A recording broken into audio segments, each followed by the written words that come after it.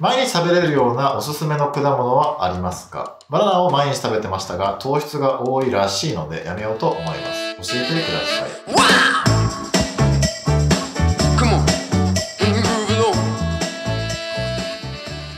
どうも、片倉学人です。このチャンネルでは果物を食べることをお勧めすることが多いです。果物は低カロリーかつ栄養豊富なので、その人の目的がダイエットにしろ健康にしろ食べるメリットが大きいからです。ただ中には果物をお勧めするとそれに含まれる糖質を気にされる方がいらっしゃいます。今回この話をしたのはこんなコメントをいただいたからで、毎日食べれるようなおすすめの果物はありますか？バナナを毎日食べてましたが糖質が多いらしいのでやめようと思います。教えてください。結論から言うとおすすめは同じ果物を食べ続けるんじゃなくて、毎日違った種類の果物を食べることです。で、質問者さんはバナナの糖質を怖がってるんですけど、そのいろんな果物を食べるバリエーションの一つとしてバナナを食べるのは全く問題ないです。糖質を怖がる必要もない。で、質問者さんがバナナの糖質を気にされてたので、実際にバナナの成分を確認してみたんですけど、バナナの可食部 100g あたりに含まれる栄養素は次の通りです。エネルギー 86kcal、タンパク質 1.1g、脂質 0.2g、炭水化物 22.5g。で、バナナ単品だと炭水化物の多さがいまいちわからないので、他の果物も調べてみました。同じく可食部 100g あたりに含まれる栄養素です。リンゴエネルギー 61kcal、タンパク質 0.2g、脂質 0.3g、炭水化物 16.2g、ブルーベリーエネルギー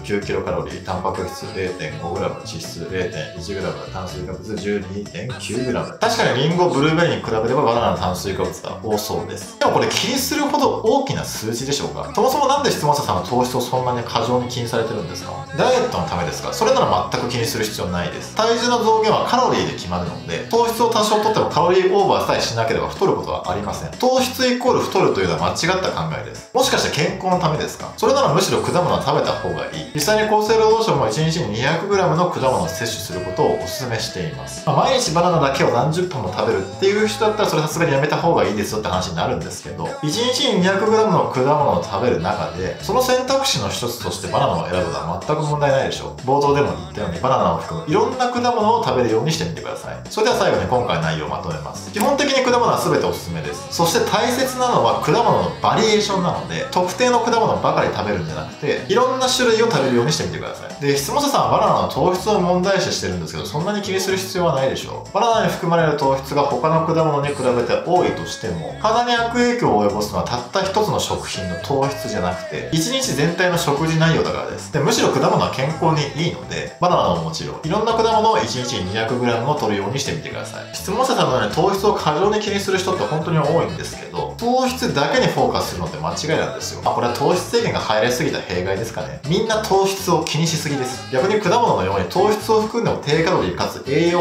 豊富な食品もあるわけなので、糖質が入ってるから食べないようにするっていうのは逆にあんまよろしくないと思います。ダイエットにおいても健康においても一つの栄養素にこだわるんじゃなくて、全体の食事内容を気にするようにしてみてください。baby.